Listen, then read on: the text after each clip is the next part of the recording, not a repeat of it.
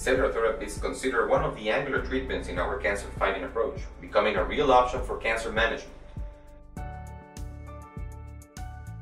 Also known as immunotherapy, autologous cellular therapy, or anti-cancer vaccines, cellular therapy is an accepted form of treatment, even mentioned in medical journals. For the purpose of this talk, we will use the term immunotherapy. Before we fully explain what immunotherapy is, let us make a small distinction. Within oncology, immunotherapy is known as a group of drugs called monoclonal antibodies, which act through the immune system to attack malignant cells.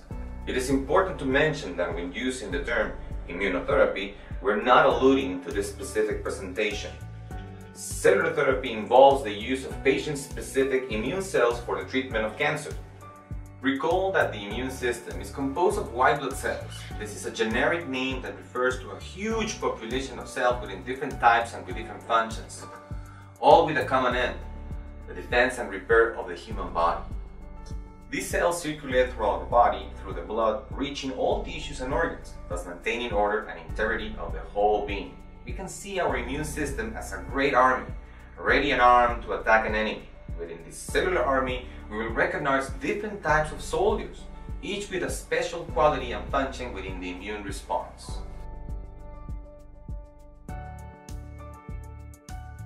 As we already mentioned, we define cancer as a set of diseases that result in the formation of a tumor or tumors as a result of the uncontrolled multiplication of cells which do not recognize the cellular order imposed by the body for each system and organ. We have also come to know that it's not only the set of diseases that constitute it. We also have identified five areas that are related within this etiology, with immunological dysfunction being a primary one. Now let's see how the immune system sees what we call cancer. The human body consists of trillions of cells. They all correspond to a specific order to maintain integrity and function of each organ and system.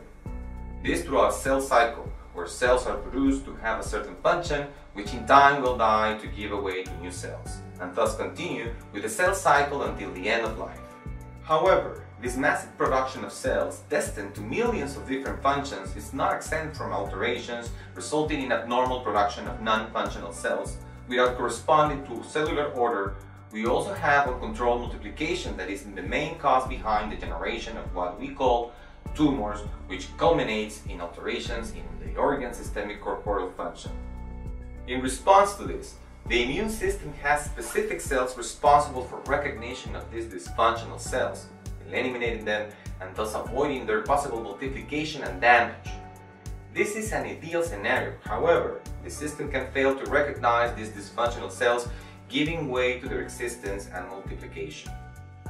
Another way these dysfunctional cells have for their survival is the obstruction of the immune response.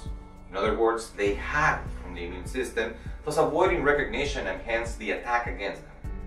Now, going back to the example of the immune system as an army, let us imagine that the cells in charge of battling these dysfunctional cells could be considered as special forces. Now, these special forces in charge of mounting a battle against cancer cells are called T cells, natural killer cells, and LAK cells. These cells together with the rest of cells that make up the immune system are able to mount a suitable response against malignant or dysfunctional cells to eliminate them.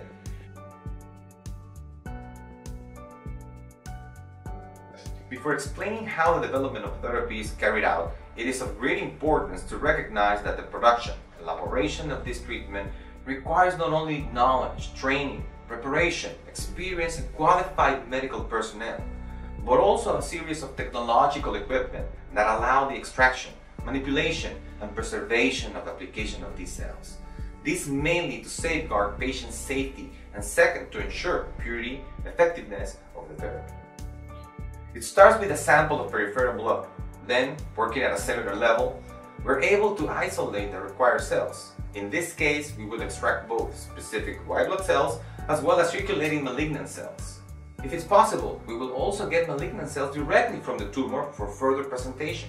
The next step is to work directly with the white cells, where we will first process them for incubation and ensure their multiplication. In this step, we will obtain trillions of these healthy cells.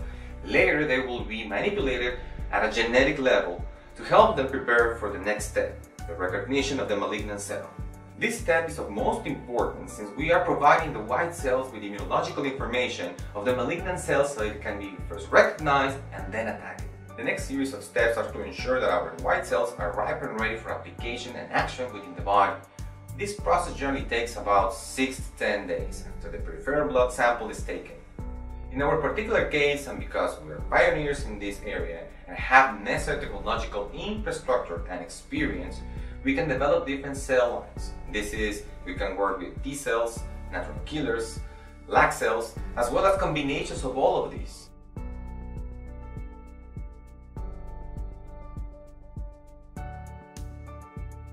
Once we have obtained the cell lines which we will work, the application begins. And remember, we are working with live cells, which can only be maintained in two ways, either inside the body or as we explained, conserved in specialized equipment built for this purpose. So its immediate application once out of this artificial means of conservation is vital for its effectiveness. Emphasizing the paramount importance of patient safety, the administration of the cellular therapy can be carried out through different techniques. Systemic, which is the intravenous delivery of cells and the most frequent used technique. This is achieved by applying the cells through a peripheral catheter. Let's not forget that regardless of the tumor size quantity, our battle is at a cellular level. This technique also gives us an advantage on areas where the presence of cancer is merely microscopic. Another advantage is situations where distant activity or metastasis is present, that is, multiple areas to be treated.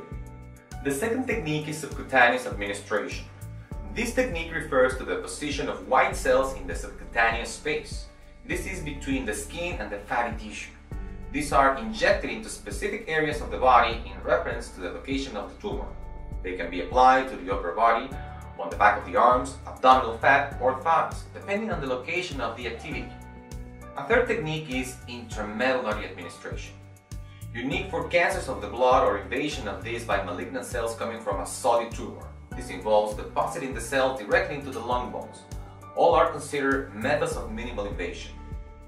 Once inside the body, the white cells will continue to replicate, to go in search of either tumor cells or attack the tumor directly, just like an army surrounds its enemy to later attack and destroy it. Cell therapy does not produce severe side effects. It does not cause damage to other cells, disease other white or red blood cells. It does not damage organs, it does not produce hair loss, its use is contraindicated on patients who have received recent full-dose chemotherapy. In cases where low dose of chemotherapy has been administered, cellular therapy could be considered as an adjuvant fighter. This requires planned strategy and respecting certain times as to the application of one therapy over the other. In the case of radiotherapy, a benefit has been observed since immunological information is released during and after radiotherapy from which the cellular therapy benefits in some cases increasing responsiveness and effectiveness.